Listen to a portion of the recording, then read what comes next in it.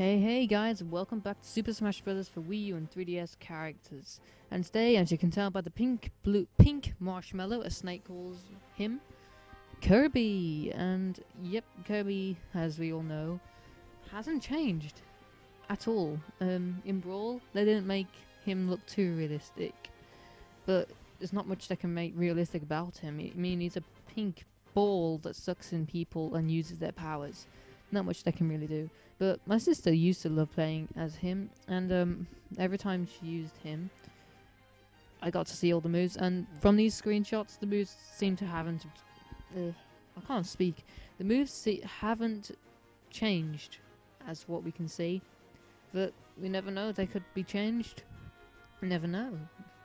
You never know what might happen. Because in Smash Bros, you never know what's going to happen. I mean, come on, they added Mega Man. Mega Man. Seriously, people. I was excited when they added Mega Man because, come on, they've got Mario, Sonic, and Mega Man in the same game. We need Pac Man. And Kirby's the closest thing we've got to Pac Man because Kirby eats a lot of things. so, um, yeah. That's it for Kirby. And like I said, not much has changed as so far as we can tell, even in the look. So, we will see you soon. Bye bye.